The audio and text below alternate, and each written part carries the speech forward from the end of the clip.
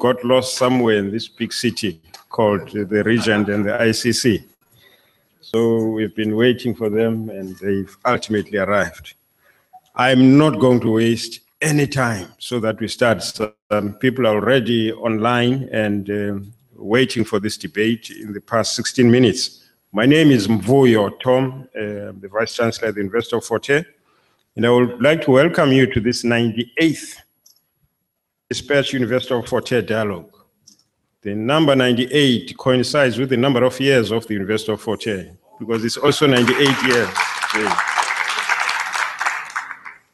This particular dialogue is held in partnership with uh, HRH.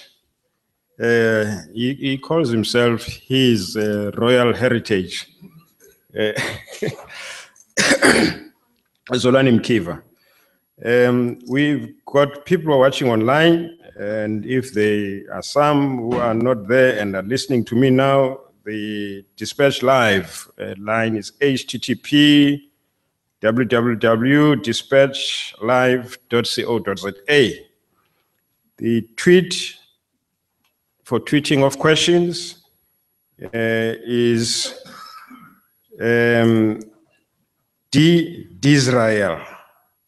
It's hash DDIsrael. Um, we are going to apologize today. We thought we would have a Jewish person participating. Uh, unfortunately, this day coincides with a holiday, and we could not get anyone uh, to participate. But Dawn has been keeping in touch with, with them. Uh, so the, the, community, the Jewish community, is fully aware of uh, today's uh, uh, event. The speaker who's going to be introduced soon um, is Dr. Saeb Erekat, the chief negotiator for the Palestinian Authority. And the respondent will be Cheryllyn Dudley, uh, who is an ACDP MP for 15 years and is also a member of Parliament's International Relations Portfolio Committee for the past five years. So, so she's a, a, very good uh, choice to have as a respondent uh, because of the international issues that they deal with as well. Now we start. Uh, HRH, a full introduction of uh, our speaker. Thank you. Good evening, uh, ladies and gentlemen. I am going to make it very, very easy. Uh, today, we have one of the warriors of Palestine who has been in the leadership core of the Palestinian Liberation Organization for a number of years. He has worked side by side with the late chairman Yasser Arafat. And uh, he is born in the city of Jericho, right next to the Dead Sea. And um, he has been the face and the voice of the people of Palestine for more than two decades. He continues to do this work, championing the cause of his people. He is also a minister who is leading the negotiating team of the state of Palestine. But I just want to say, the Mkiva Humanitarian Foundation took a decision earlier this year to honor him and declare him as the global champion for people's freedom. Because we believe that he deserves this with the work that he has done and the work that he continues to do. As he is here today, he is joined by Comrade Abdul Hafiz Nofal, who is the ambassador of Palestine over there. Let's give him a, a warm welcome.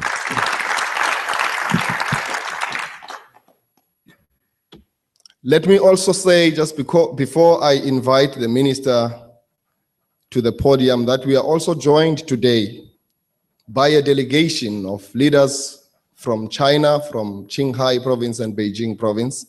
Let's give them a big warm welcome.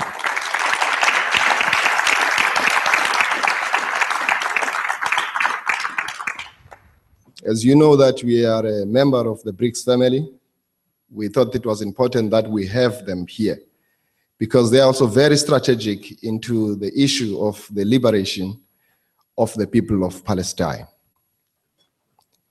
What we like about Dr. Saeb Erekat is that he is not only a freedom fighter, but a peacemaker who is recognized across the length and the breadth of the Arab world.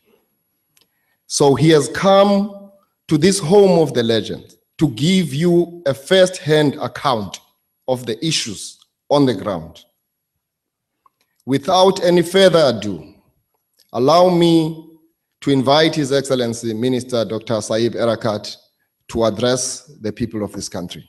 Thank you.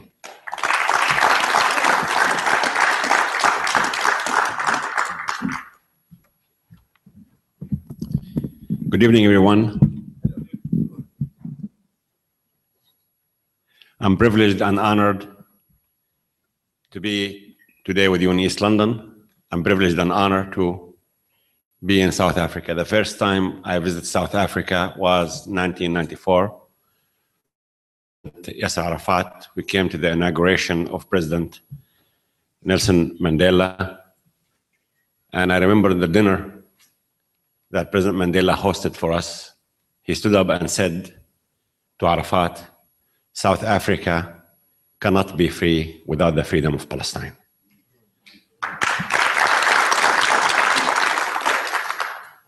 I'd like to honor the Vice Chan Chancellor of the Fort Hare University, to honor the member of the executive branch of the provisional government, the editor of the Daily Dispatch, our ambassador, Al-Hafiz Nofal, uh, comrade Zolani Mkiva, and uh, also I'd like to honor Charlene Dudley, who I met in my office in Ramallah.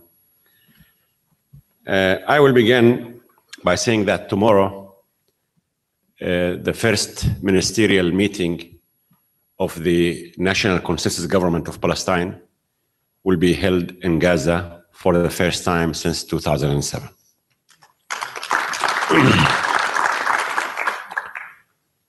so the number one point in our agenda is to achieve our national reconciliation.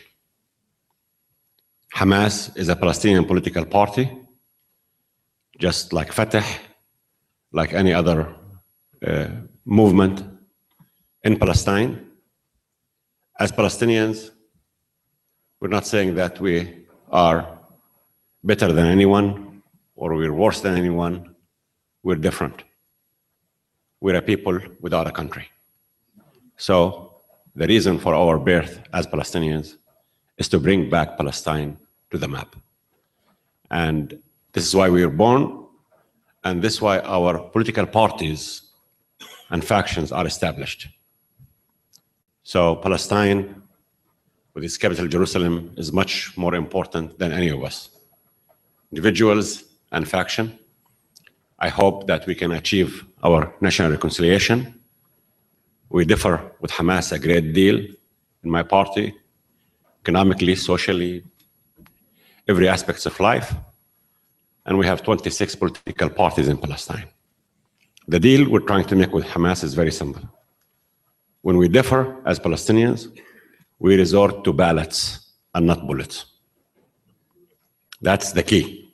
And that's the key for us and Hamas and every other Palestinian, for 11 million Palestinians worldwide, to bring Palestine back to the map because without our national consensus, uh, I don't think we can have a Palestinian state. There will never be a state in Gaza, and there will never be a Palestinian state without Gaza. And the war that Israel waged against Gaza last summer was not a war against Hamas. It was a war against the Palestinian people and against the Palestinian national project. It's a war that was aimed to keep Gaza off the space of Palestine and the West Bank so our division can continue. And we are determined to do our utmost in order to achieve our national conciliation. I'm not saying this will happen because we have a magic stick. This will be a painful, gradual uh, process. It's on us. if we don't help ourselves, nobody else will. And we're determined to achieve this national consensus. As far as Israel is concerned, as Zolani said, I'm the chief Palestinian negotiator. And since Eve negotiated Adam, I think I'm the most disadvantaged negotiator in history of mankind. I have no army, no navy, no air force, no economy, no country. My people are fragmented. And I know that Israel is a country with 2,000 fighting planes, nuclear weapons, 3,000 tanks. And if it's my word against any of them in the Congress or the Senate in the United States, I don't stand a chance. And I know that life is not about fairness and justice. Having said that, the Israelis have three options. Number one is my option two states. State of Palestine, with East Jerusalem as capital, to live side by side the state of Israel in peace and security on the 1967 lines. I believe this is the only option available to both people. In Palestine, Jews, Muslims, and Christians have lived shoulder to shoulder for centuries. Judaism to us is not a threat. Judaism to us, as Christian and Muslim Palestinians, is one of God's great religion. And our conflict is not a religious one, it's a political one. And I don't believe that Christian and Muslim Palestinians will convert to Judaism and become Israelis. And I don't think that Jews will convert to Christianity and Islam and become Palestinians. The only realistic option is a two state solution. We have recognized the state of Israel right to exist in the 67 lines. We stand tall with international law. And we are determined to achieve peace in accordance with this formula. Now, if the Israelis think, some of them, that they want to refer to my hometown Jericho and its Hebrew name Jericho, they want to refer to Jerusalem as Jerusalem, they want to refer to Nablus as Shechem, and they want to refer to me as Mar, Erekat Mar means Mr. in Hebrew. Well, we're not racists. You can accuse us of anything as Palestinians. We're not racists. We believe that Jews, Muslims, and Christians have lived throughout centuries together, and we can live in a secular democratic state. One person, one vote. Once we say this, they look at us and say, You evil Palestinians, you want to undermine the Jewish nature of Israel. Well, I recognized you to, as Israel, to live in peace and security, and you're still insisting on building settlements, dictating fait accompli policies on the ground. And when we offer a secular state, because there is no such a thing as a one state solution, Israel will never agree to that. Solution needs an agreement. You say that we're evil. Option number three is what exists today in the West Bank and East Jerusalem. Ladies and gentlemen, today in October 2014, there are roads in the West Bank and East Jerusalem we cannot use as Christians and Muslims. Only Jews can use. There is a name for such formulas. We still go with our cars with plates that are white and green. Israelis go with yellow plates. So on roadblocks, we stopped, we searched, they don't even bother to look at who's at the roadblock. Such diseases as racism, bigotry, once they inflict underneath our skin, we have in always tried to justify it. Blacks, whites, yellows, Christians, Muslims, Jews, sometimes sociological explanations, sometimes psychological, sometimes economic, sometimes sexual, and today Israel is justifying this degrading the worst apartheid in history of man in the name of security. There are those Jews who come from upper middle class families from the United States and Europe to the West Bank, and they believe that if they can kill Palestinians, burn trees, burn churches and mosques, they'll be closer to God. You know what? I think such homes have serious problems on themselves, on their societies. The choice is Israel's policy makers. And I pray and hope that they will choose the two state solution to live and let live. And as I said, Judaism is not a threat to us. Was never a threat and will never be a threat. We have nothing against Judaism as Christians and Muslim Palestinians. We believe that without achieving the two state solution and peace in Palestine, I think people who are trying to work democracy, stability, fight terrorism are just the least I can say they're not going to achieve their goals. They're not realistic. Our region today, the Middle East, the Arab countries in particular, are going through one of the most important developments in the last 1,000 years. Make no mistake, Arabs are democratizing. It's going to be a painful, long, bloody road. And the first attempt to democratize in the Middle East was not Tunisia 2010 and Egypt 2011. A gentleman by the name Mohammed Mossadegh in 1951 Iran won a landslide elections in his country Iran. And Mohammed Mossadegh began, began reforming, nationalizing the oil companies, and to the CIA and the British intelligence, this was not compatible with Western interests. They brought him down in 1953 not knowing that in 1953 they planted the seeds of Khomeini. Our region needs democracy. And anyone who says Arabs are not ready for democracy is a racist. And the second element the Middle East and the Arab countries need is peace between Palestinians and Israelis. And here we don't need to reinvent the wheel or eat the apple from the start. It's going to be two states on the 1967 lines, not this year, in 10 years and 15 years. The difference will be how many lives, Israeli lives for that matter, and Palestinian lives we can save. This question of Palestine will not be solved by Israel committing more war crimes as they did last summer. We're a small people. To have 12,000 people killed and wounded every two years, to have 50,000 homes destroyed, 500,000 people becoming homeless, to have 1.7 million people in Gaza under siege, using fuel supplies, medical supplies, and food supplies as swords on their necks to blackmail them. This should not stand. And the siege that's imposed by the Israelis in Gaza must be lifted. What the Arab world is witnessing today is not something new to human history and development.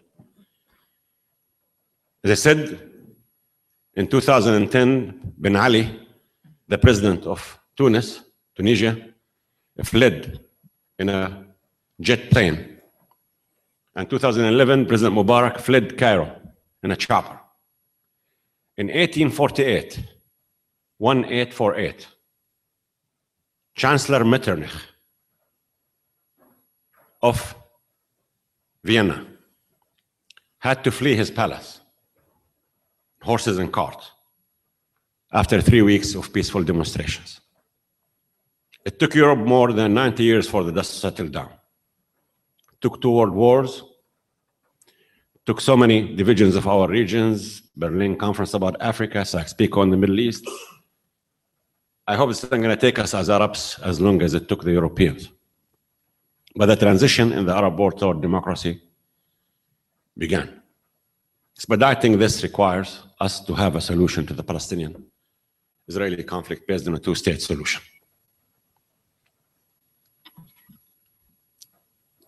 We have a serious problem with Western decision makers.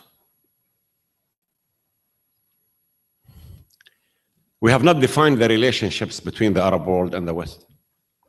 And as a matter of fact, since the year 1683, 1683, till today, these relations have not been defined. In 1683, some Muslim soldiers sieged a small city in Europe called Vienna. And we have never been forgiven for this. Anyone who would raise their head in our Middle East will be banged. Ask Muhammad Ali, the great in Egypt, ask Jamal Abdel Nasser, ask Saddam Hussein, ask Yasser Arafat, ask. I believe the compatibility here is the definition of Western interest is not contradictory to democracy and peace in the Middle East. It's not contradictory. It's not contradictory at all. And the balance should be found, and it can be found.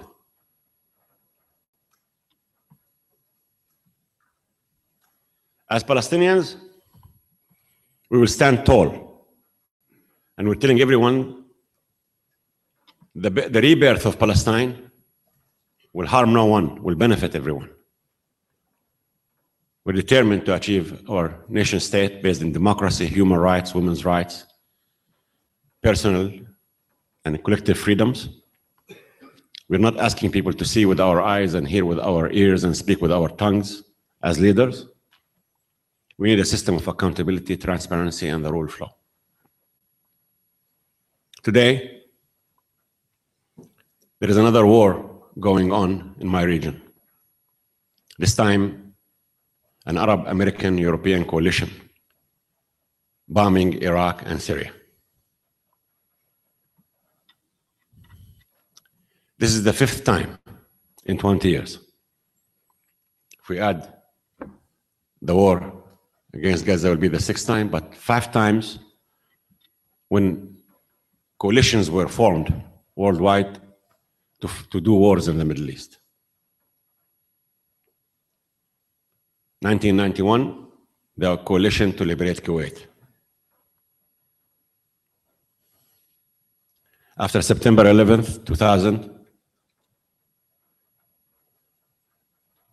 the coalition against Afghanistan. 2003, coalition against Iraq. 2011, coalition against Libya. 2014, coalition to fight ISIS in Iraq and Syria. The common denominator between these five coalitions is that Israel was excluded every single time. And those who argued that Israel, being in the Middle East, will protect Western interests are seeing to themselves that Israel is becoming to be a burden in Western interests.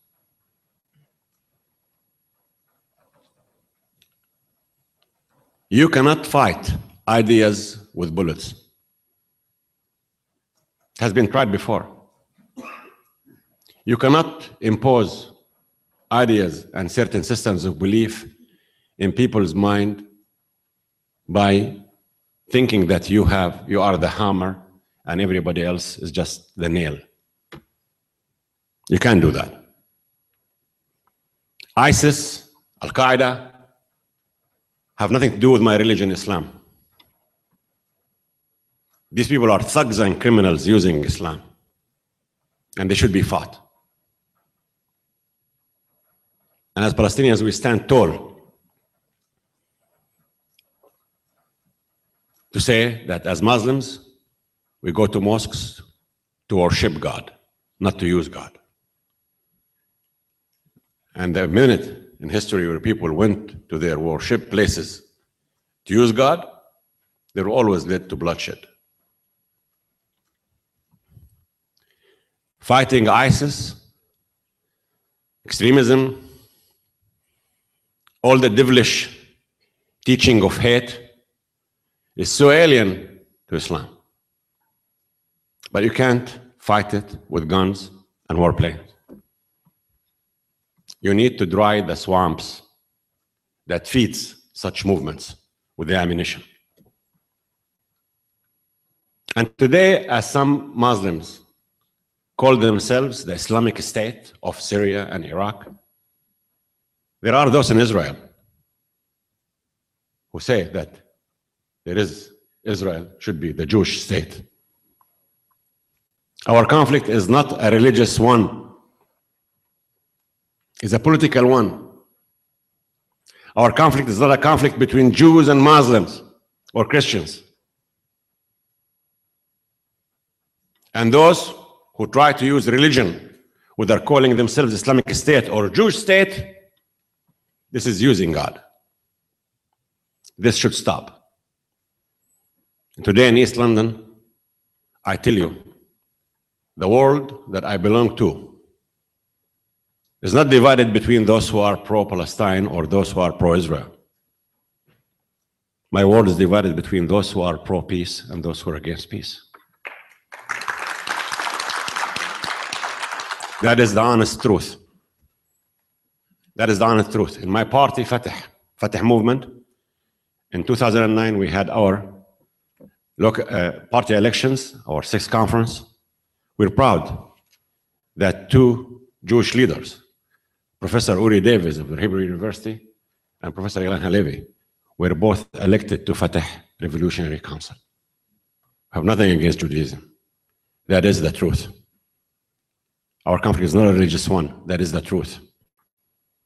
I want you all to rethink your positions and your stand.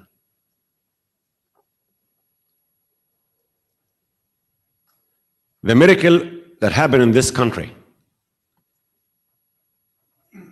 in the transition of this country, and the uniqueness of this transition in this country, for me, makes me more determined and strengthen my belief that peace between Palestinians and Israelis is not only possible, it's doable. And we will do it. And by the way, I did not wake up one morning and felt my conscience aching for the suffering of Israelis. I'm doing peace because of my people, because that's our vital interest as Palestinians. No one benefits more from the success of peace than Palestinians, and more, no more stands to lose more of the absence of peace than Palestinians. It's our freedom, independence, and dignity. And we really want our children to be like your children. We don't want our sons to be suicide bombers. We want our sons to be like your children. We want them to be the soccer players, the physicians, the musicians, the teachers. We want normality of life. This is why we're not going to relent. We're not going to give up. We're not going to despair. The two state solution is the only way out for Palestinians and Israelis. We are going, as much as the Israelis, through labor pains. I hope, with the help of all those around the world who stand shoulder to shoulder with those who are pro peace, that we can make what seems to people as an impossible task a reality. It can happen, and it will happen. And we're determined to achieve this goal of two states state of Palestine to live side by side the state of Israel on the 1967 lines in peace and security. I thank you very much, and I will respond to that.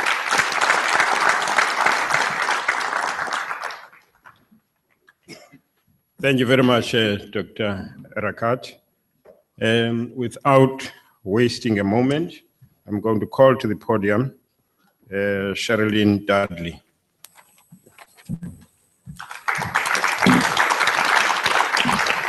Thank you. It's a privilege for me to be here tonight to, to share with you and to dialogue with these esteemed visitors that we have here. And it's been very encouraging what we've heard tonight because, yes, I think anybody who's come out here tonight is probably of, of the hope that peace is possible. We want to see peace, not just for our own families and in our own communities, but we really do want to see peace globally. We want to see peace in the Middle East. And we do know that the global terrorism that is, that is running rife at the moment is not far from our borders. And it's right here in Africa. So, so we're in this global world, anything that's happening anywhere in the world is pretty much waiting to happen right where we are as well. So there's interest in it for us.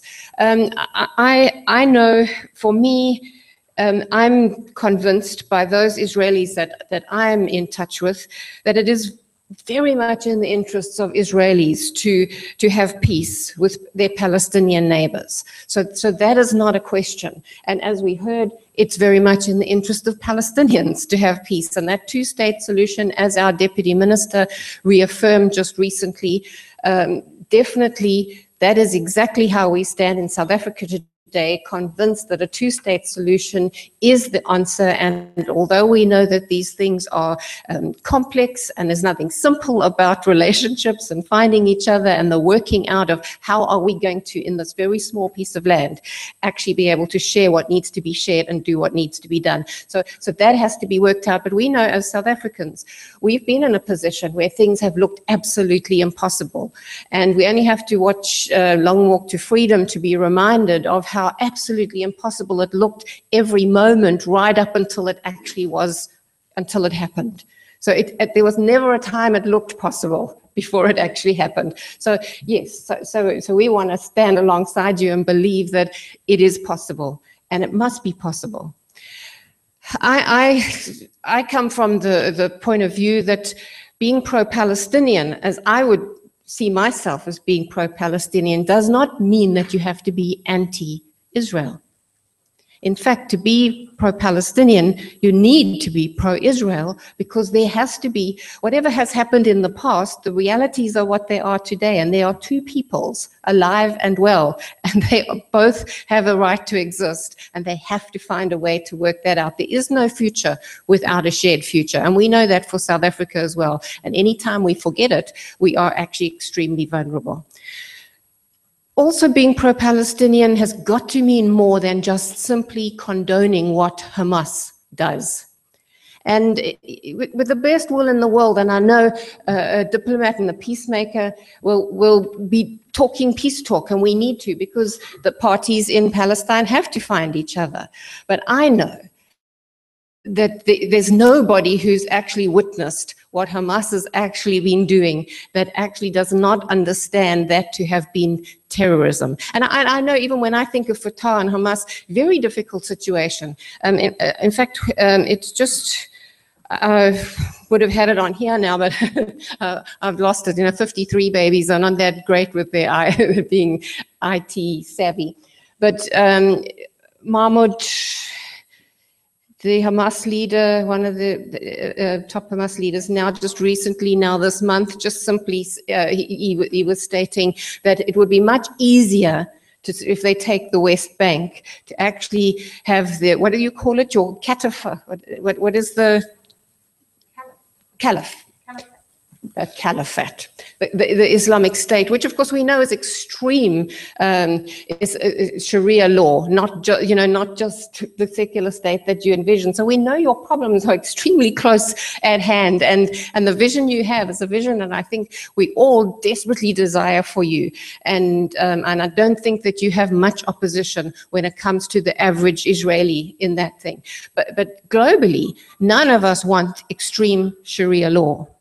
I don't want extreme Sharia law. And the, and the promise of that is huge. And if you read the Hamas Charter, you will see um, that they, they use um, the um, Islamic faith to actually condone the, the, the goal of killing every Jew and destroying Israel. So the, these are problematic things. And, and so the ideology, as you say, you, you can't fight these things with bullets the, the ideology is actually extremely dangerous. And that is what, and that is where you are. You're not against the people. You're against an ideology of destruction and death. Uh, we don't want it here in our country, but we also don't want it for any other country. Having said that, we are South Africans. The people who are invested there in the Middle East are the Palestinians and the Israelis. They are the people that have to find each other. We can't sit in our ivory towers and start dictating how uh, what people should do, what they should think, how they should find each other. It's it's a a walk of trying to find how these rela- broken relationships can be mended and how we can go forward. And we, we, we've had this experience. Our broken relationships should have been completely unmendable in South Africa. But for the fact that you, that minority of people held on to the idea that it's possible. So holding on to the idea that it's possible clearly is the key. So, so tonight is a very, a, a very exciting night for me because I heard a couple things. I, I heard that not only do the Palestinians have a right to exist, but so do the Israelis. That is important. That's an incredibly strong, important starting point, and that's something that will open the hearts of Israelis to to finding peace. But of course, let's just talk about war crimes. war crimes. You know, of the attacks, the constant attacks, the wars, the everything that the Israelis have actually um, constantly handled as, and, and gone through and been a part of, they actually forcibly removed their settlers out of Gaza, forcibly removed them. And the result of that has been non-stop rockets attacking their civilian pop population. And a really um, sophisticated tunnels that have been put in place with the money, with the funds that have been put in Gaza for food and for infrastructure and for, for all of the things, education and everything that the people in Gaza rightly deserve, that money has been used to build this sophisticated infrastructure of tunnels for one for the purpose only of abducting and killing Israelis. That's a, no country can just stand by and do that because you'd have to ask the question if you think that the Isra- Israelis should not have actually done what they did in response, what then do you think they should have done? How do you think that they should have protected um, and and disarmed that that was coming against them and attacking them? And also, you, there are um, United Nations articles about the, the rules, the laws in terms of war, and you cannot you cannot use civilians to protect um, military targets. It, it, it is written over and over and over clearly. And that is exactly what Hamas does. So the fact, and you know as well as I do, that the military power of Israel could have taken out the entire population of Gaza.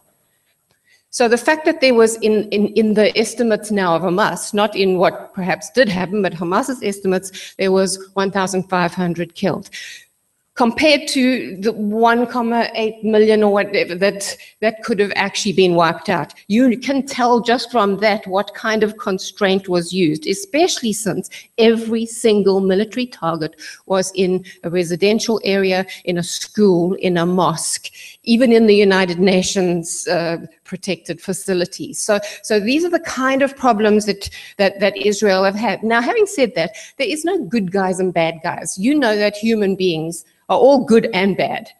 We, we have our moments of being absolutely awesome. And we also have the potential to be desperately wicked above all things at any moment on any issue. So constantly the, the thing is to try to bring the best out in, in all of us. And that is going to be the biggest job that we're going to have to find, they're going to have to do in the Middle East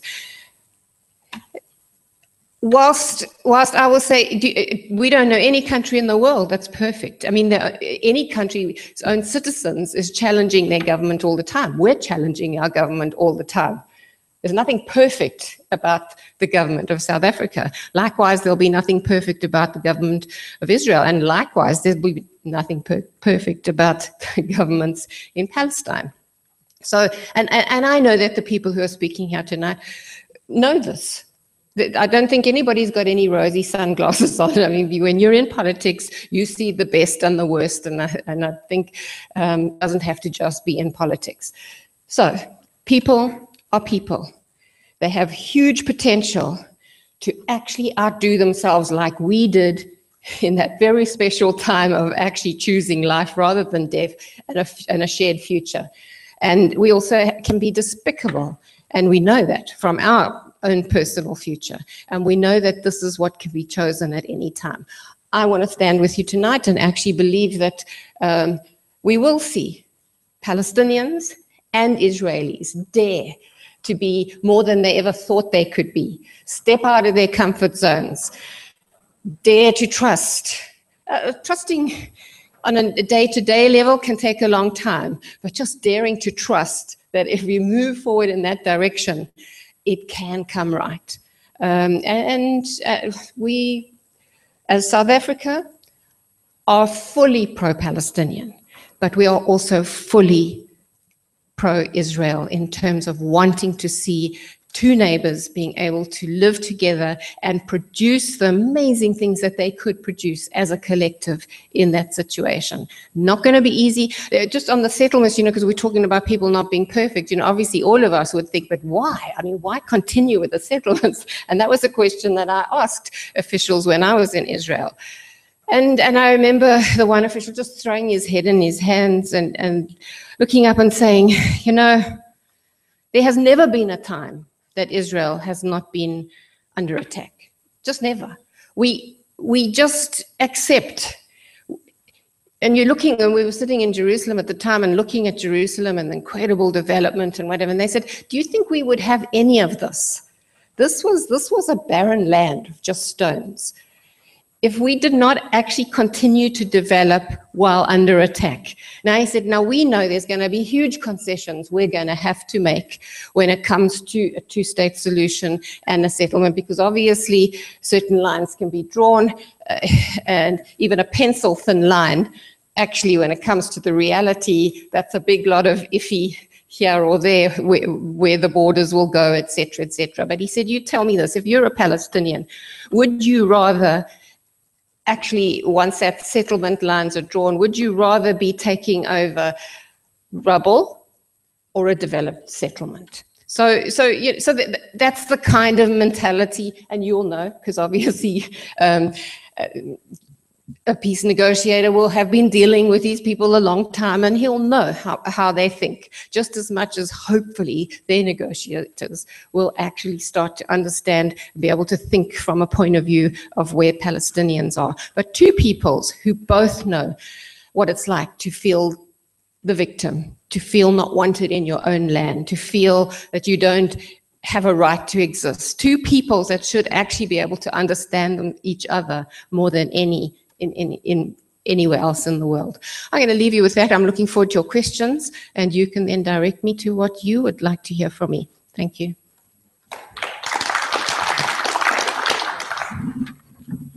Thank you very much, uh, Ms. Dudley. Um, ladies and gentlemen, let's give both of them a round of applause for the inclusion. We are now going to open this, but before I do that, let me acknowledge the presence of the MEC for Rural Development in the province, uh, Mr. Mlibo Qoboshiyane, sitting in the third row. And also the editor of the dispatch, our partner, uh, Mr. Bongani Siqoko, sitting there. And of course, I think you all know Don by now who's managing these uh, dialogues from the dispatch side. I have a flu, so I'm not going to talk too much. You are going to talk and I'm going to listen. Um, many things have been said already about the choices that exist, but uh, narrowing down towards a particular choice for the resolution of what we can at this stage call a perpetual conflict that has been going on there. Hopefully, it will not continue to be a perpetual conflict. Something has got to be done to resolve it.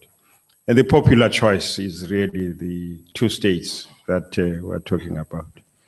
Um, I want to see hands.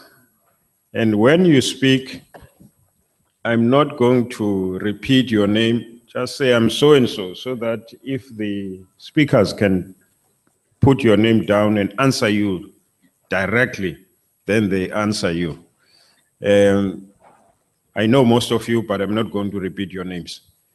The second point that I want to, to, to raise is that there are tweets that are there.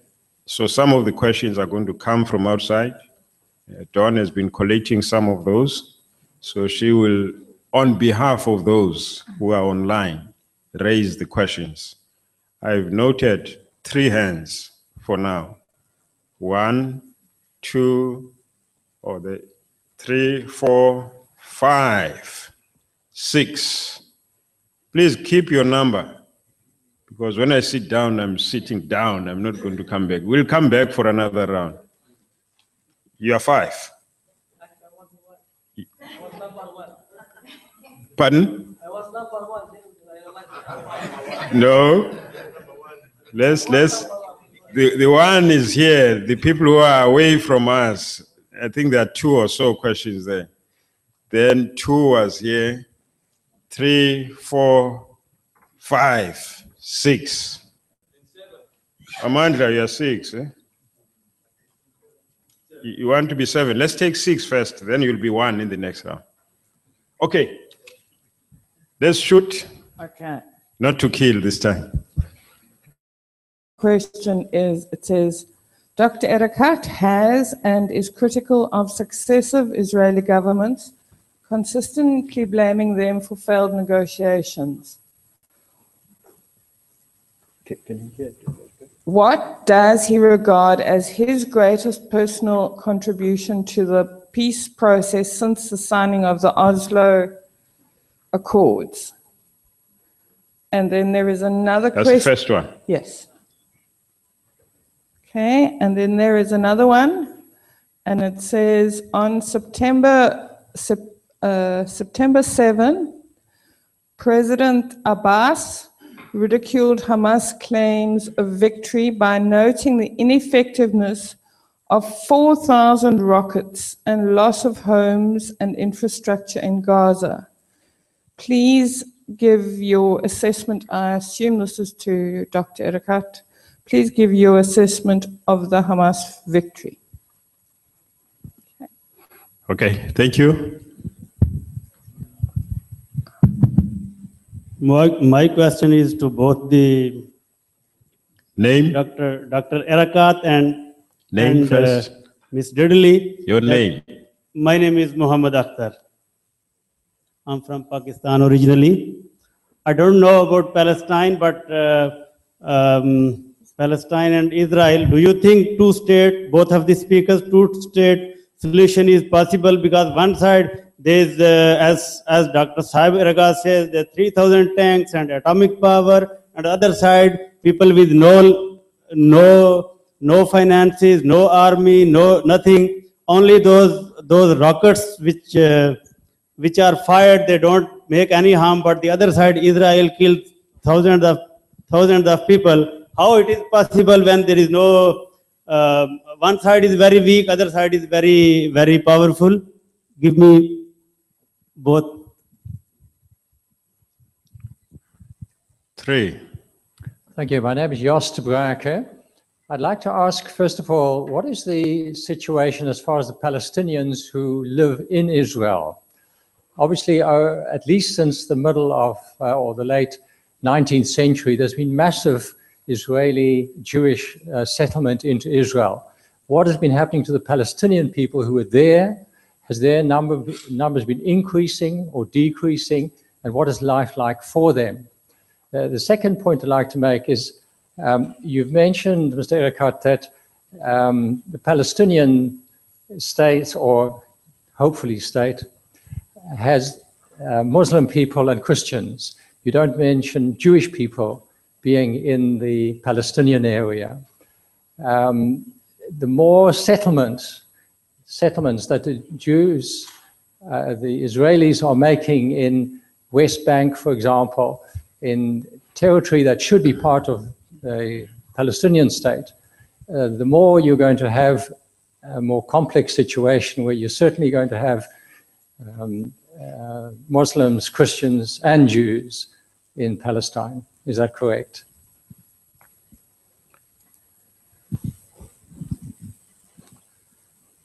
Good evening. My name is Pumzile Matigini. The first question would be to uh, ascertain as to whether this two-stage solution, as to how far has it been canvassed? Which are the global organizations or regional organizations which have bought into that idea and supported the two-stage, uh, sorry, two-stage solution. The second one relates to this um, rechanneling of resources which were meant for infrastructure, food, uh, and other services to building channels and other uh, purposes of war. I think in Gaza, I think you're saying in Gaza. Who, who, is in charge of, con, of rechanneling these resources, resources towards the military and war purposes? Which, which authority has actually um, approved, kind of? And the, la- the last one is whether, is there a deadlock now? Is there a deadlock in, in, in negotiations? Or, uh, or is there progress? Thanks. Okay, may, may I ask the next three speakers to just hold it? I think there's a lot that has come through already. Let's, let's, there are people who ask three questions, some two, so there are more questions than the people. So I will start with the hands that came earlier in the next round. Let's hold it there now and ask Dr. Erekat if he wants to respond to these now or you still want to take more. They, they, are, they are mainly asked from you now. Most of the questions are yours. Okay.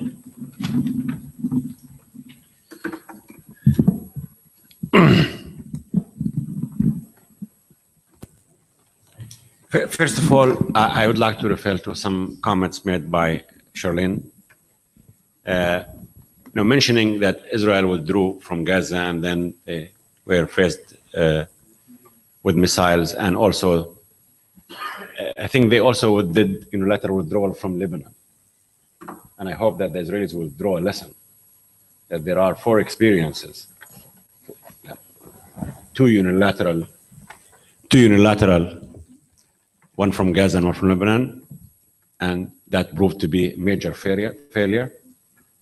When Israelis do unilateral dictation, imposition, they have two other experiences in the region, one with Egypt, one with Jordan, bilateral, and the peace stands, stands firm under all circumstances in this region.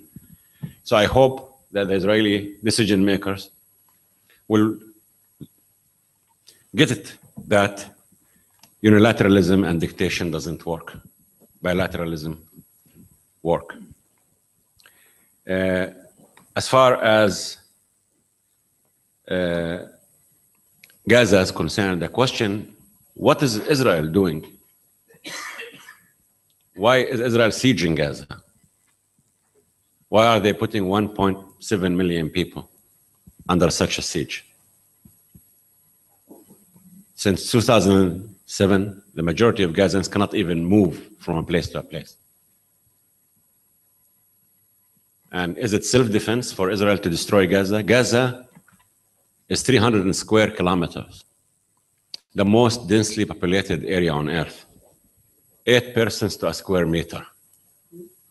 So where do you want people to run? Where do you want them to hide? Is there a place for them to hide or to run? And please, under no circumstances, such actions should not be justified. Question of conflict. I don't condone firing missiles against Israelis. I don't condone the killing or targeting of civilians, whether Israelis or Palestinians. But at the same time, I refuse to, for anyone to justify the massacres committed against our people in Gaza. And uh, I, I would refer all of you to the United Nations Secretary General report, to the special envoy of the Secretary General report, to all their the journalists that were there. And I, I think people should stand tall to condemn such atrocities against the civilian population. Hamas is a Palestinian political party, and I said from the beginning, we differ. We're a democracy. We are people under occupation. And Hamas is not a terrorist organization. And Netanyahu has no right to try to equate Hamas with Daesh and ISIS.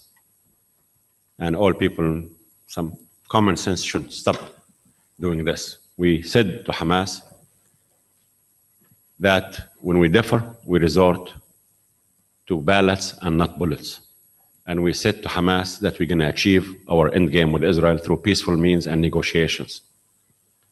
And we're doing our best to reach that point of one authority, one gun, the rule of law once we achieve our independence. And to those who are, you know, friends of Israel, I, I agree. You know, you don't have to be friends of Palestinians to be against Israel or the Americans or South Africans. But if you are, you know, I know that good friends in South Africa don't allow their friends to drive drunk. And good friends of Israel should stop Israel from continuing its dictation and settlement activities. And good friends of Israel should stop Dole to condemn their actions against Palestinian civilians. Because at the end of the day, as you said, Cheryllyn, it's us and the Israelis, Palestinians and Israelis who will make have to make the concessions required for peace, not you, not the Americans, not the Europeans. And at the same time, it's me and the Israelis who are destined to be neighbors together. And it's fences that make good neighbors. The successive Israeli governments, I am not in the business of scoring points or finger pointing. My contribution, my generation's contribution to peace, in my time, we have recognized the state of Israel right to exist on 1967 lines. All right?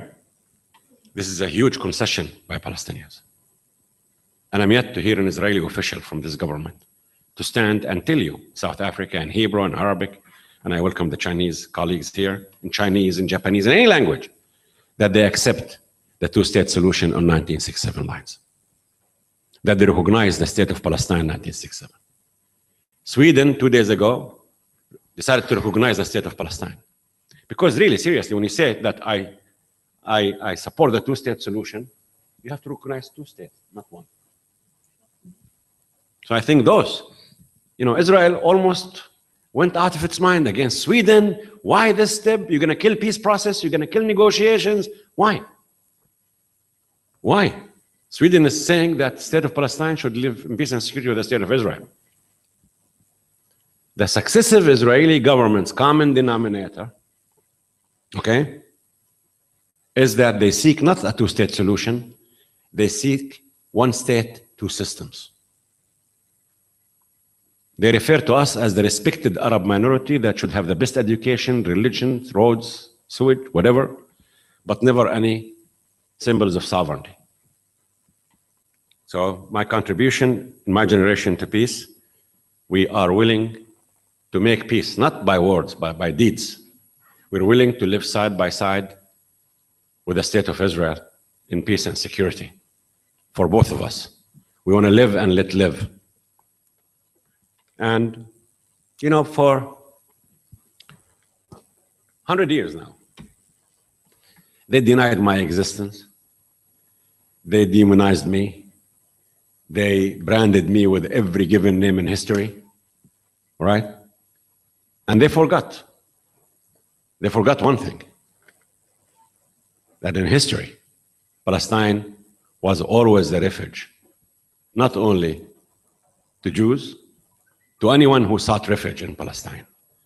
Ask the Armenians, ask the Jews who fled Russia, ask the Lebanese, ask all of those who were persecuted in their country and sought refuge in Palestine. We stand tall to be a country of tolerance and bridges between religions and, and so on.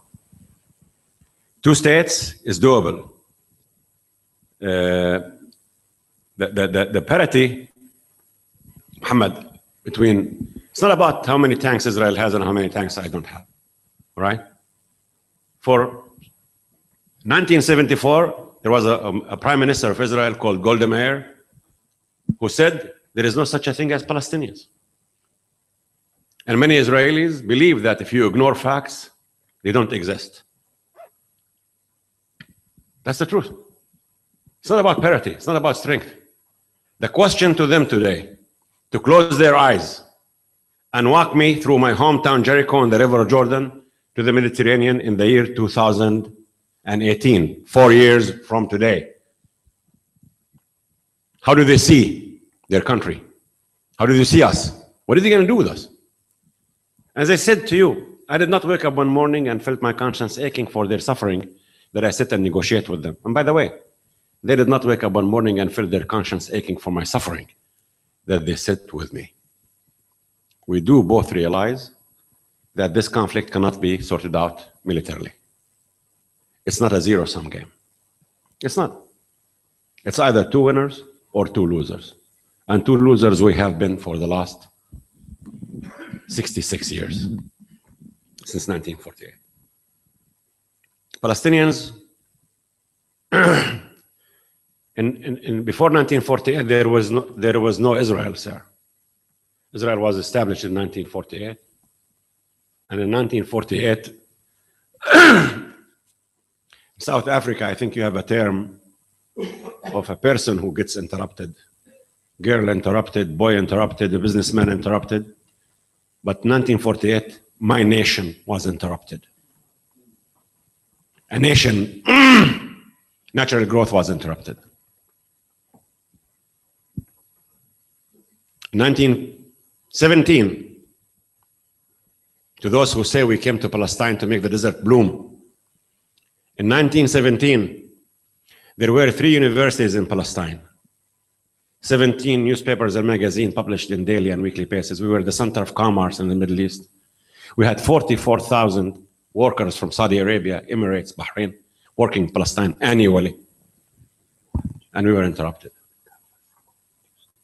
So Palestinians who were living in Palestine before 1948, today, their ancestors number 5 million people living in refugee camps worldwide. 600,000 of them in Syria, not allowed even to flee like others who fled Syria because they're Palestinians. 400,000 are in Lebanon, refugee camps, and scattered all over earth. And in Israel proper, there are 1.5 million Palestinians with Israeli citizenships.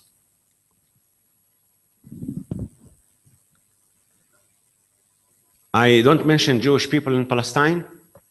I told you that in Palestine, we have lived side by side, Jews, Muslims, and Christian Palestinians. Never, never a sectarian clash before the emergence of Zionists who came and fled Tsarist Russia and started putting bombs in our markets. That's the truth.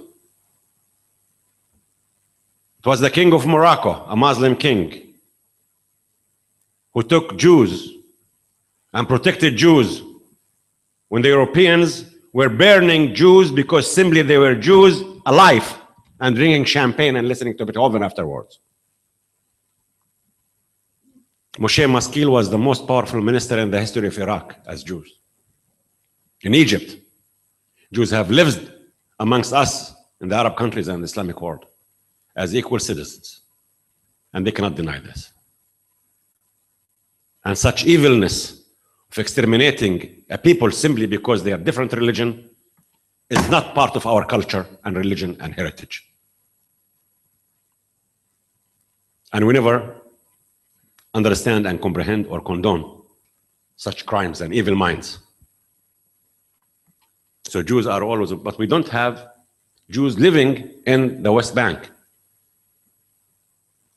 We have an imposed settlers who are illegal by international law.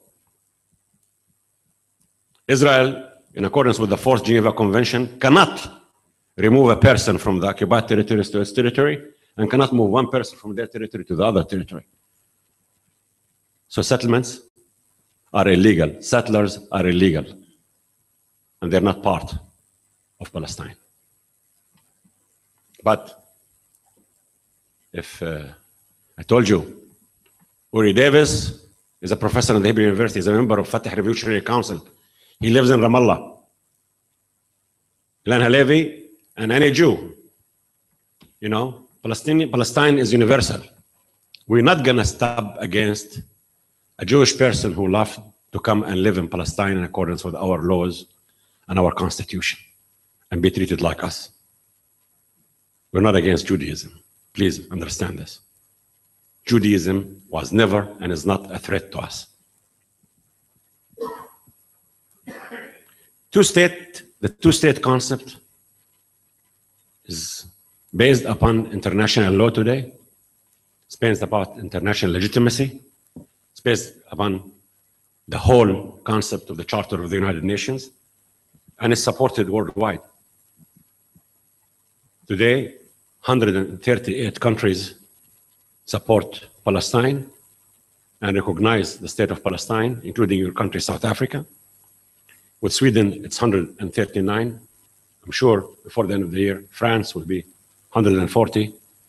And we urge all those who believe in a two-state solution and sustaining the two-state solution to understand that recognizing Palestine to live side by side, the state of Israel in peace and security in the six, seven lines is not a threat to Israel.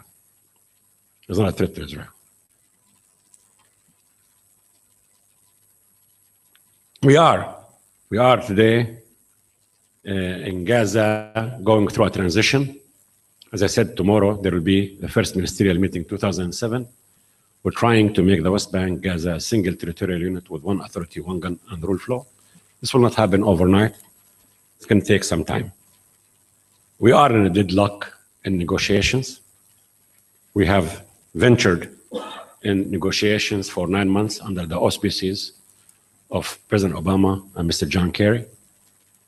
Uh, I refer you to the statements that came from the United States. It was Mr. Netanyahu who stopped and suspended the negotiations on April 23, 2014, when we signed the conciliation with Hamas. And it was Netanyahu who added in the nine months 15,000 housing units to the settlements in the supposed to be land of the Palestinian state and added 55,000 settlers. And the question is if you say you want two states, why do you build in my land? Why do you dictate in my land? Why do you refuse to recognize me? Why do you continue sieging Gaza? That's a, the question is very simple. I mean, you want to build a security wall, and I'm against walls, Charlie. Build it on the 1967 lines. Build it in your borders. You don't have to build it in my bedroom in Jericho. This is simply stealing land. This is simply destroying the two-state solution. And it's not about scoring points or finger pointing. These are facts. And ignoring facts don't mean they don't exist. They exist. And we need to stand. There's 70% of the Israeli public who support the two-state solution. There are many good Israelis who stand tall against their government policies of settlements. Not because they love Palestinians, because they know it's a cardinal, vital interest for Israel to stop such actions and to reach out and to rethink and to live and let live. Because we're not going to disappear. And today they have a generation of Palestinians who are fully committed to the two state solution. And by the way, I always say that failure is not an option. But the truth is, we could reach that point. And then, is it going to save my son's life that a South African will blame me or the Israelis? Who cares? And this is why I say once again please stand shoulder to shoulder with those Israelis and Palestinians who are pro peace, who are pro the two state solution in 1967. Thank you.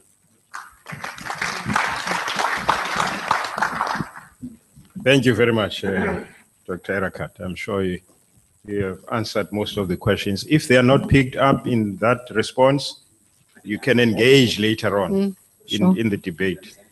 Uh, No, we'll come back. Uh, Cheryllyn also wants to respond to some of the issues.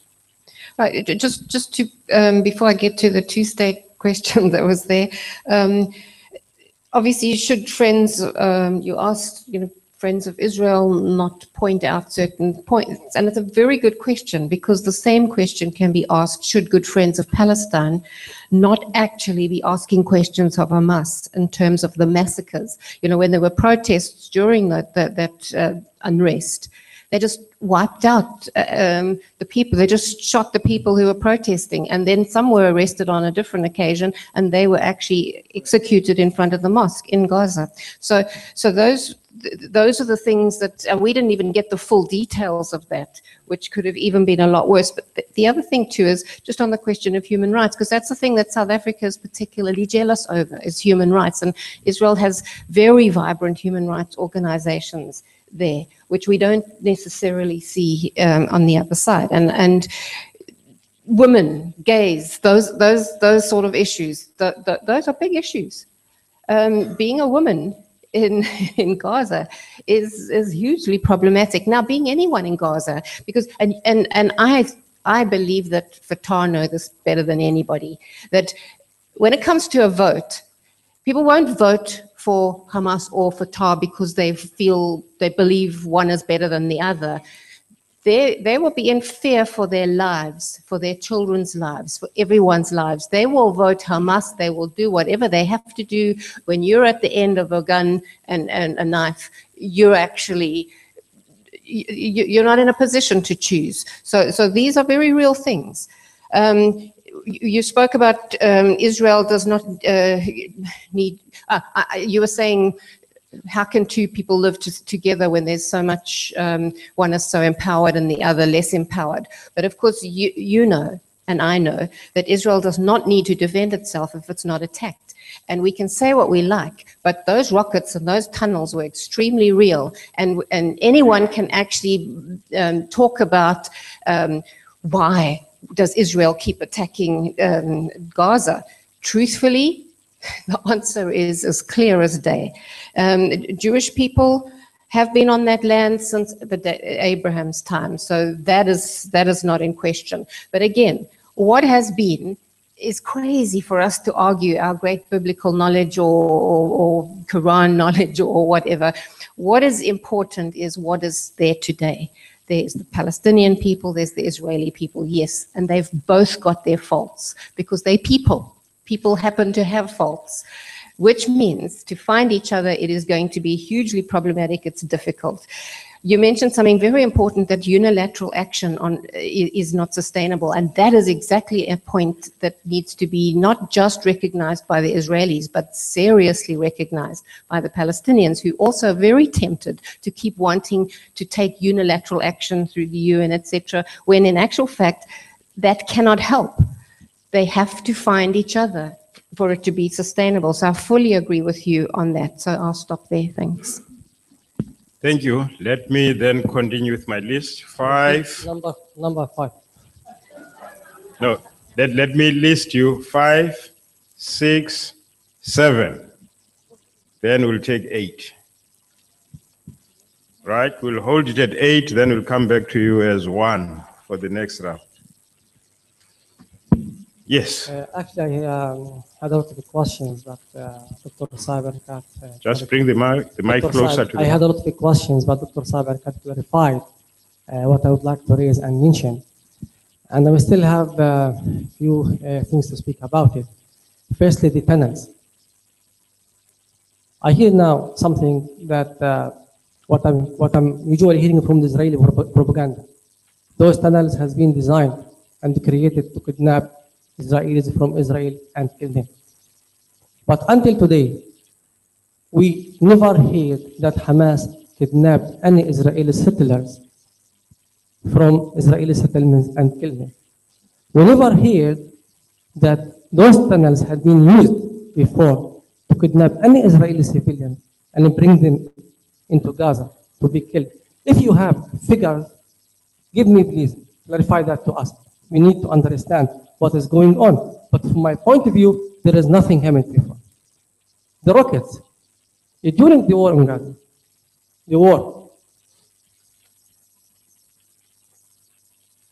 Hamas, I don't want to say Hamas, I don't want, I don't want to go to that uh, square of, uh, of Hamas. All the Palestinian factions, all the Palestinian fighters were defend about their countries from the Israeli aggression, not Hamas. All the Palestinian fractions in Gaza Strip. During that war, 2,200 Palestinian people has been killed. 11,000 Palestinian people has been injured. More than 40,000 houses has been demolished. Can you give me definition of that? Is that terrorism or not? Is that terrorism or not? When three settlers kidnapped a boy who 15 years old, his name is Muhammad Abu Khadr, and put the fuel in his mouth and burned him alive. Is that terrorism or not? It's like ISIS. They are doing like ISIS and Boko Haram. That is the definition of terrorism from my point of view. I don't know what is the definition from your point of view. Thank you very much. Okay. Uh, Thanks. uh, I'm Awitu Zumana. Uh, My question would be directed to Ms. Dudley. When uh, one looks at uh, the attitude of Israel towards the two-state solution, from reading about it, it, it looks though that Israel is not uh, agreeable to the two-state solution. But also even that if the other alternative were to be a one-state solution, it still appears that Israel is still not agreeable to those. Uh, from looking at it, I want, uh, I want you to help me understand what Israel sees as a possible solution, like what seems to be the most agreeable solution from the Israeli perspective. In that Israel appears to continue, for instance, if they were committed to the two state solution, the settlements would not be growing year in, year out. I mean, the decision on the two state solution is a UN resolution of 1974. But Israel continues to move further and further in occupying Palestinian land. So, my question is really what, from the perspective of Israel, do they view from what you would know of Israel policy? What do they view as a solution to this issue? Thanks, sir. Thank you. Seven. Hello, my name is Denver Ballantyne. I'm 22 years old, so forgive me for my youth. Uh, I might say things I don't quite understand yet. um, I just want to say, Dr. Erica, thank you for speaking to us. You've, you've opened our eyes to some things that perhaps we weren't aware of, and you've helped us understand some things about what's happening in the East. Um, about the two state uh, situation that you're speaking about, is it at all possible for this to actually happen? Is it not against Israeli beliefs for them to mix with any other sort of tradition? They, their beliefs are so solid and so grounded that it is impossible for them to combine with anyone else with their beliefs. So, in a way, is a two state solution not forcing their hand into conflict? Please understand, this is not an aggressive question. I just, I'm young, I want to understand. And uh, that's all. And uh, the second point is this convention uh, is supposed to be a monologue, which we're discussing, it is. And, but I'm feeling a little bit like it's, sorry, a dialogue, but I'm feeling like it's a little bit of a monologue. There's no Jewish representative here. We're not getting another side of the story. And yes, it's a holiday, it's a Jewish holiday, but surely could we not have moved the convention to a better date? It is not fair that we have one side of the story. It is a good story. It's a, you provided evidence and knowledge, but it is still unfair. We need two sides of the story. We cannot hear one story and fully believe it.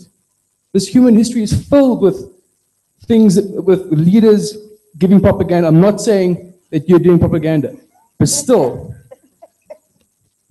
can we fully believe one side of the story without fully, full evidence of another side? We must ask the question. Thank you. Thank you. Um, right at the back, number eight was there.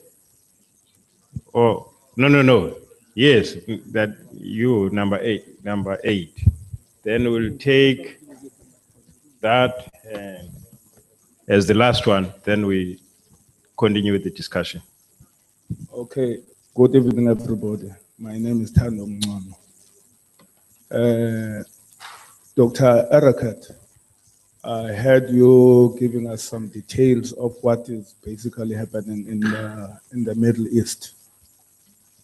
Uh, as a chief negotiator for the Palestinians, I didn't, I didn't hear you talking about the involvement of the UN in all these negotiations. Is it possible uh, just to say to the House, what is the role of the UN in all these uh, peace negotiations? Thank you. Thank you. Last one. Oh, there are tweets as well, so we'll come to the tweets after that. Yes, you, you may go on. Yes, I go on. Yes. Okay, um, I've got questions for uh, Said Erekat, and I've also got a question for A bit of volume, please. for the lady uh, Chantel. Uh, my name, thank you, Prof. Uh, my name is Zair Rahman, and uh, I'm from East London, of course. Uh, I want to ask, uh, why don't you no- negotiate for a one-state solution? Because remember, you said that the Arabs, the Jews, the Christians, the Muslims, they live there for years and centuries. So can't there be a one-state solution and have different democratic parties? Okay? And then you talk about a common denominator. Uh, haven't you got a common denominator for Palestine and Israel to find peace? And you are talking of a two-state solution. And if you look at what has been happening all these years, you've been negotiating, you went to Oslo, you went to Madrid, people say you sold them out. And in the end, it's with all your peace initiatives, you know, they say a الضغط يولد الانفجار. You are getting all these extremists being born. Is Israel, does Israel want to partner with you? Or do they just want you to police the people like we had our Bantustan leaders policing here? Are they, is, like you said now, Egypt, Jordan, they've got bilaterals. But in that bilaterals, who's controlling Egypt? Israel's controlling them. Who's controlling Jordan? Israel's controlling them. So do they just want you as a partner like that? Or do they want you as an equal partner? Why don't you have a one-state solution? Everybody's equal. You have different parties. Jews can belong to Palestinian parties. Palestinians can belong to Jewish parties, Christian, Jews, all mixed, like we got in South Africa. ANC's got all the different denominations. Uh, ACDP, I don't know if they got all the different denominations, but most of the parties, I mean, whether it's uh, PAC or uh, whatever, they, they, they've, they, DA, they've got all, it's all mixed. And if you're looking, I mean, if you are so positive, you say we can do it, why don't we go for the one state solution? And everything, everybody's there. And I mean, who votes for who? That will, in the end, the democracy will show. And coming now, Uh, I'm going to stop I just want to ask the, the lady the question. A short and Yeah, short, one. short. I, I, won't, I won't be long. You know, I'm a lecturer, so I lecture. I've recognized that. That's why So, I'm but. I, I, I just want to ask her, you know, just to be fair to her too, you know. Uh, she has said, you know, that Hamas has done all these things and Hamas take the people, I think, as, uh, you know, uh, maybe as, what do they call it? They keep the people in front of them and then they, uh, you know, let Israel attack them or whatever they call it. And human shields and, and all, all these type of things. But, I mean, if you are negotiating, you got all the power. And this also goes to say, Edgar, if can you deal with all this power? You got nothing to negotiate with. I mean, they got everything. If you are power, quick, can't you be honorable? Quick honorable question. and come down and say, okay, we can have peace. Because if you got the power, that's what we did in South Africa. Okay. Don, the tweet.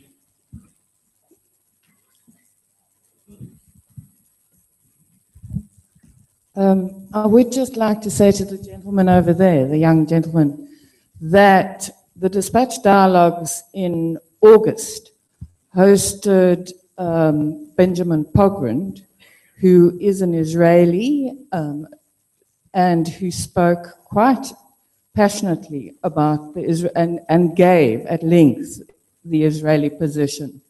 So it, it's not just a one-way show here. Okay. I, I, I, didn't see you there, did I? Okay. um, okay, so the, the tweet that's come in is, is it realistic, and it's addressed to doc, Dr. Erekat, is it realistic to think that Hamas will do a U-turn on their stated position or their charter on Israel's right to exist? And if it continues to call for the blood of Jews to flow, how will the Palestinian Authority respond to that?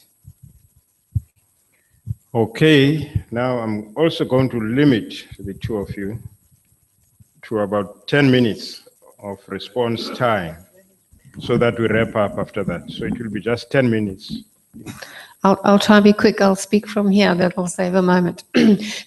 a question came about um, numbers of people killed, etc. I, I couldn't hear very well, but if Israel hadn't had the dome, that was its major defense, the numbers would have been hugely different. And, and thank God for that um, technology that they had in the dome.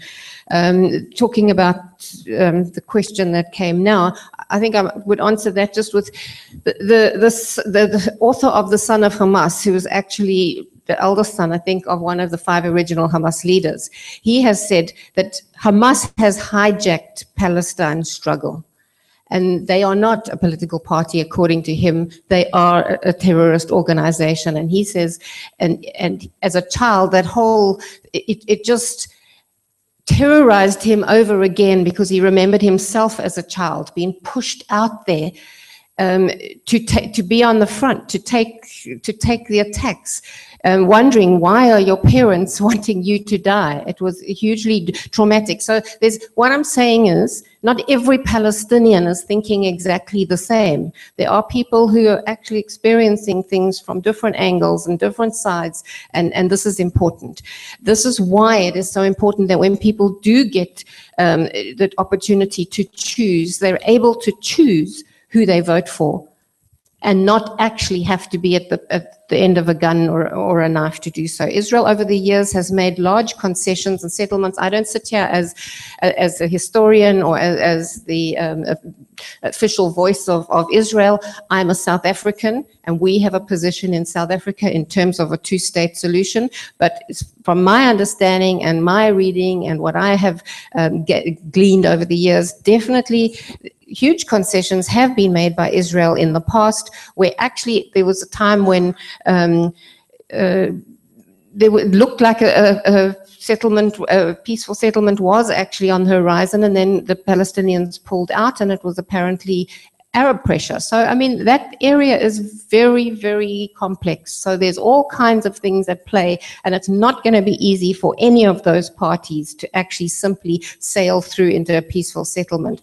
But um, the one state solution, somebody spoke about the, the Israel being um, fanatical religious people. Yes, they do have fanatical religious people there, like we have here, and anybody has anywhere, even in our party. But um, there is a sense. Um, Israel, of course, is a, is a, a secular state in, in, its, in its government and in that sort of sense. However, not a secular state in the way that we uh, in South Africa have interpreted it. It's, it's a different thing. It's more in line with what um, Dr. Erekat would be speaking about in terms of wanting a secular government. It doesn't mean you ignore your beliefs. It really is about actually understanding that people come from different perspectives. 20 plus Muslim countries exist probably about 50 plus Christian countries exist. No Israeli country exists except for Israel. And it's the tiniest little speck in the middle of the earth. And you can hardly see it if you look at it against all the Arab states around it. So, so you and I would think, yes, let's have one state, let's do what we've done in South Africa as if it was easy and wasn't the miracle that it actually was. But those people in the Middle East want a two-state solution. They're very distinct people, and, and, and, and the Palestinians, uh, as Dr. Erekat had just said, they have desired for the longest time to have that control over themselves, to be a state, to, to actually be recognized as an individual people. So, so this is is not for us to say what we think should be done. It's actually for the people in that area to actually strive for and to get, hopefully, what they want. Thank you.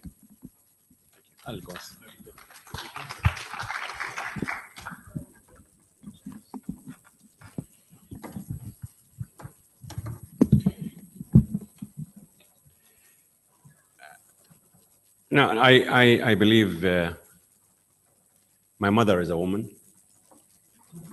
My wife, Nama, is a woman. I have twin daughters. They're 33, 32.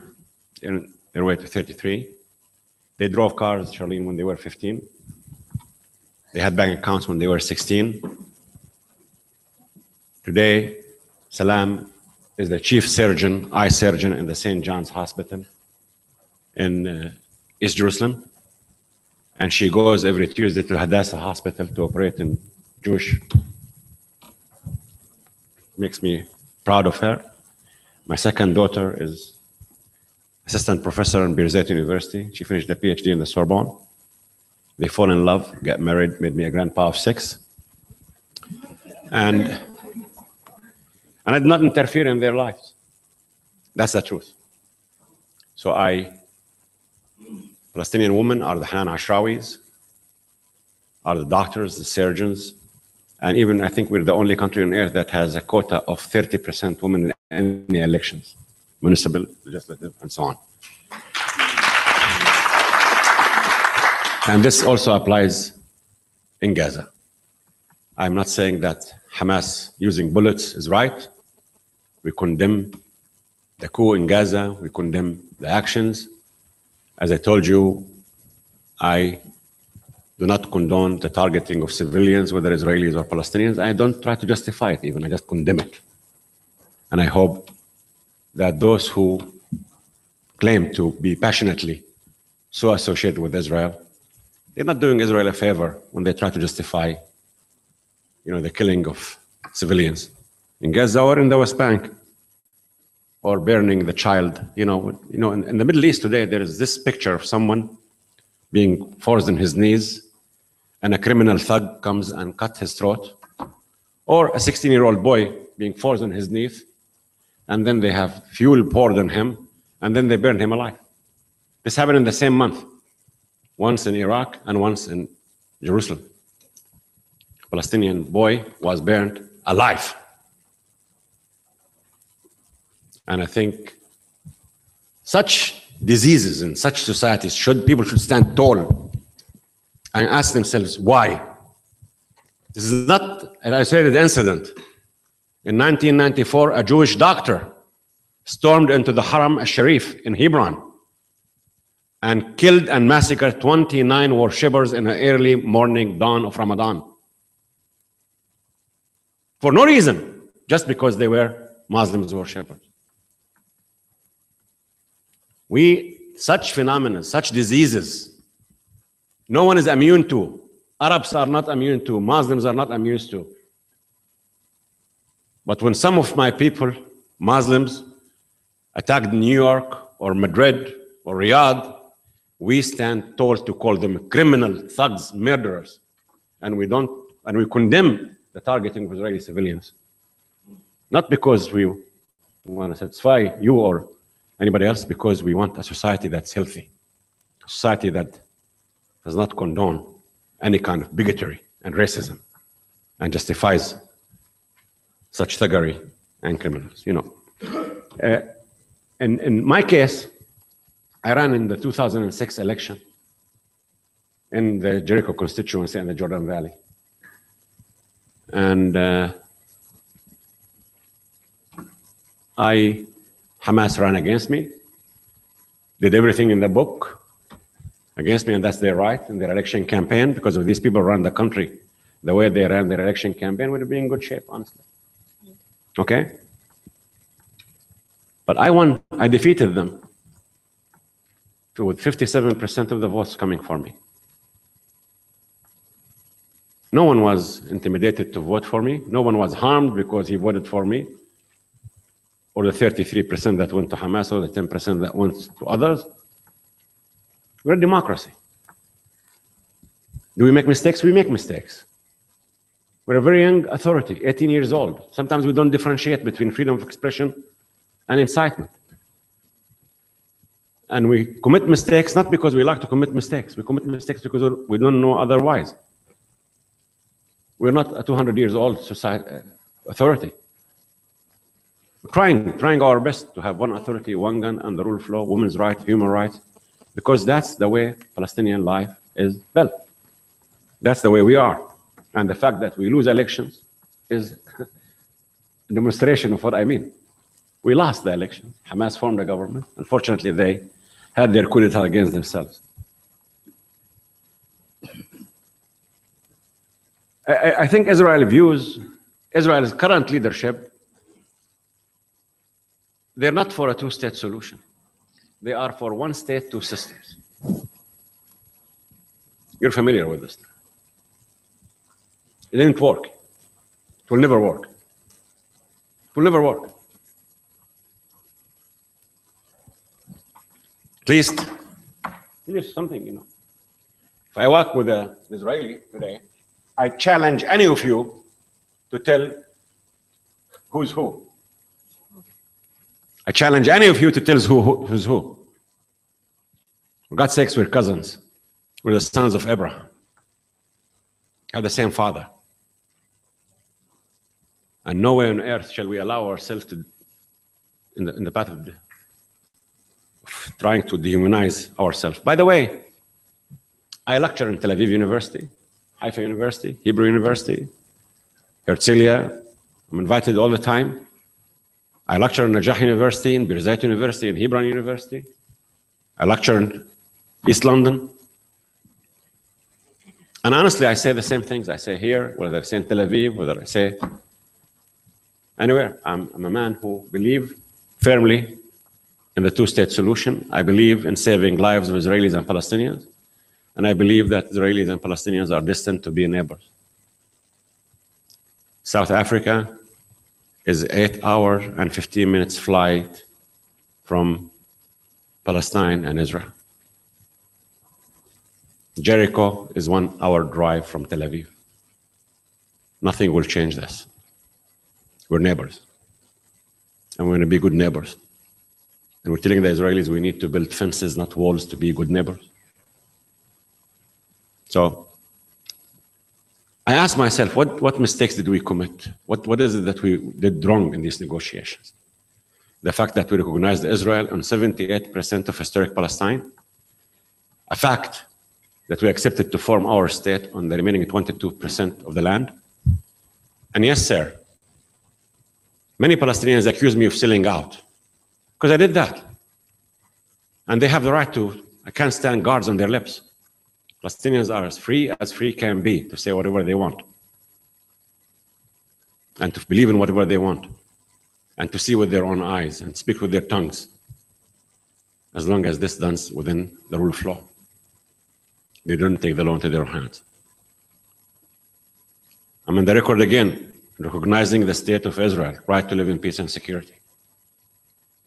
And I hope and pray that my Israeli colleagues in this government, their prime minister, will stand and say that they recognize the state of Palestine to live in peace and security. I don't know, Cheryllyn, if it's if, if we sign the conventions on elimination of all discrimination against women, is this a unilateral step? Why would Israel be bothered with this? That's what we did. That's one of the conventions we signed. Amnesty International and Middle East Watch came to me and we said we put 73 complaints against you. You have some torture in your prisons. No one responded. So we joined the convention on anti-torture, on non-combatant ch children being non-combatant. These are the things we signed because we are building our nation state. We are building institutions for our nation state. If this is a unilateral step, we're going to do more of it. I'm not, you know, imagine if I go and have the power to build 55,000 housing units in Tel Aviv for Gazans to come and live in Tel Aviv. This is unilateral.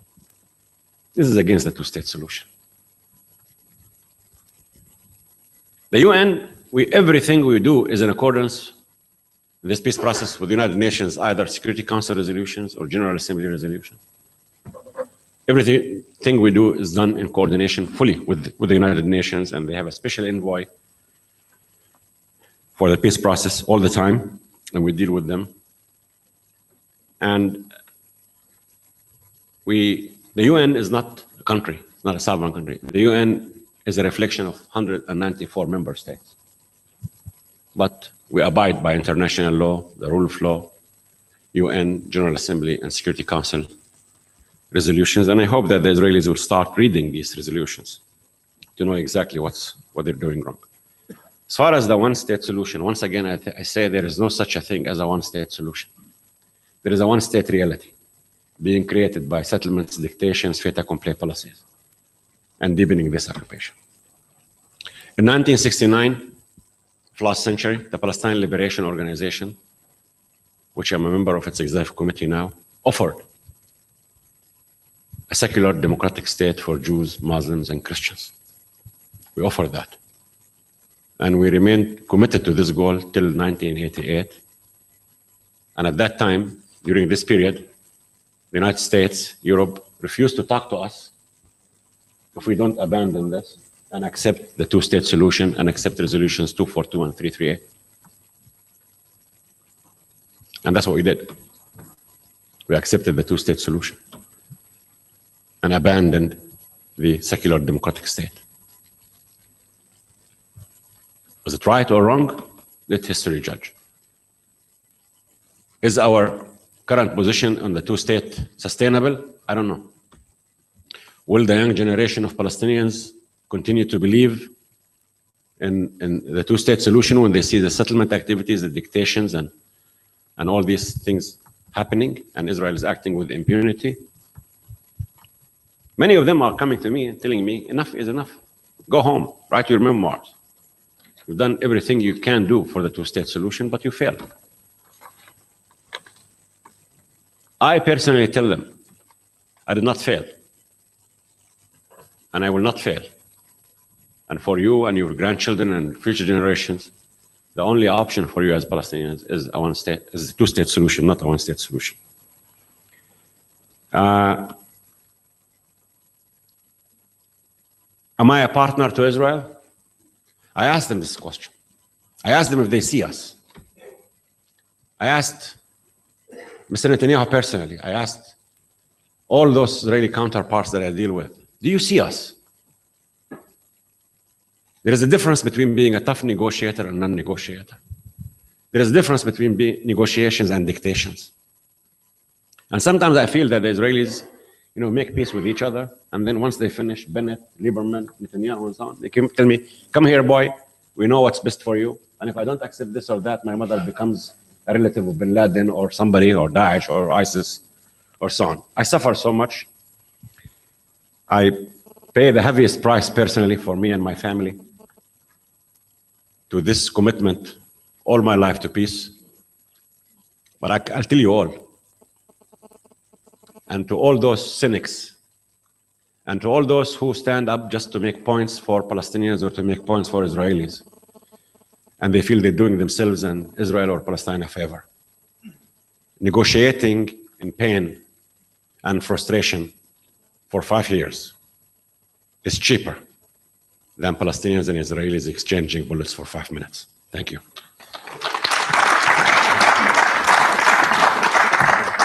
Thank you very much, uh, Dr. Erekat, and thank you very much, uh, Mrs. Dudley. Um, you will agree with me that uh, as part of their responses in the last round, they also summarized some of their thoughts. So I'm not going to ask them to wrap up now. But what I'm going to do is to ask you to go with a particular question about the resolution of this conflict. Is it that the problem that brings us together today to talk about this. The fact that there is a recognition or there is a challenge in the recognition of one side as being as human as the other. The common denominator for me, if we were to resolve this, each side has got to say, You are a human being and I am a human being, and we have a right to coexist. At some stage, that needs to happen.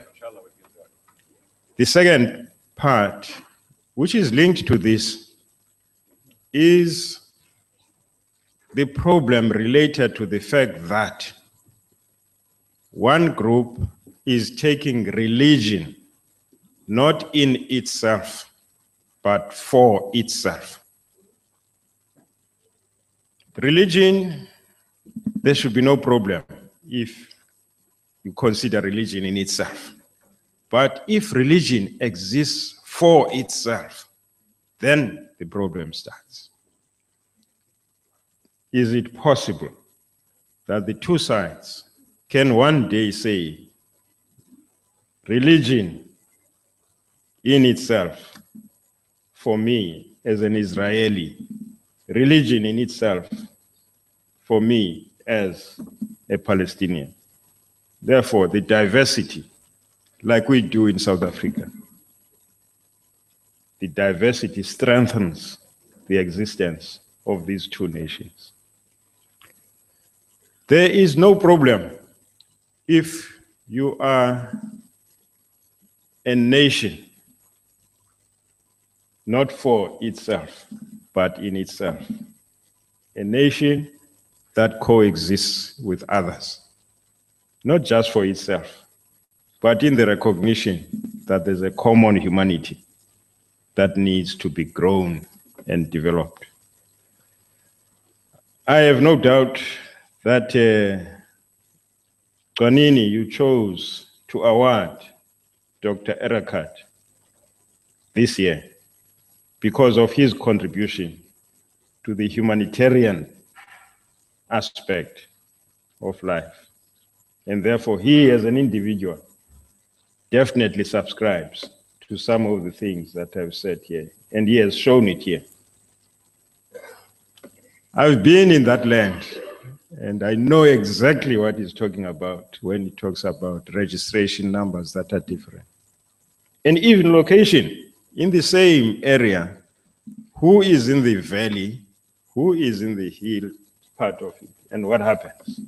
Cultural issues being changed to discriminate one against the other. So the one state issue is a big issue in that area. And the two state has been seen to be the solution by the nations of the world. And we all need to promote that and ensure that these two states can coexist and not start throwing stones against the borders when those two states are created. Thank you very much for the contributions you have made, and thank you very much for your own contributions.